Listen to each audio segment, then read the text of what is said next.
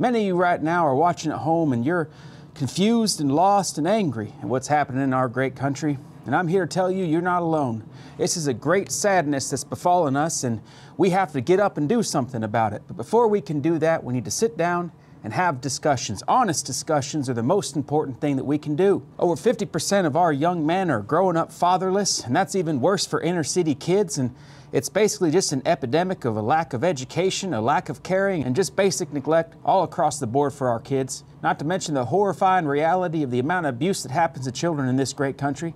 Can you really call it great anymore? You may, as a parent, be looking around and seeing what's happening to your kids in school and what people are trying to do, running around the streets crying that they're going to come get your kids. And this is enough to make a grown man cry. But I'm here to tell you right now that you don't have to cry. You see, as conservatives, we have something that we have not been using that's going to absolutely change the game.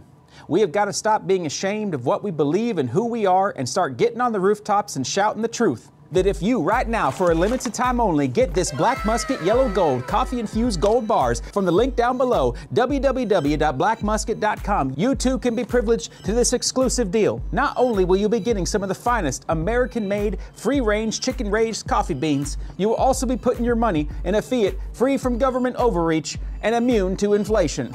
Guys, I cannot stress enough just how important it is for you to get this coffee if you're a conservative and you believe in God and country and you believe that we have freedom of speech and freedom of religion and all the things that are protected under the Constitution. If you believe in those things, then this is the coffee for you. I'm sorry. Whoa, hold, hold up. I'm getting something. I'm get, oh, oh my goodness. I just got word right now, limited time only. If you buy 10 bags of the Black Musket Yellow Gold Coffee Infused Gold Bars, you have a limited time only Doomsday Prepper Kit that comes with a free, super official graph of just how much gold you'll be gaining and growing over the years if you put all of your money into the gold bars that are run by this company who paid us.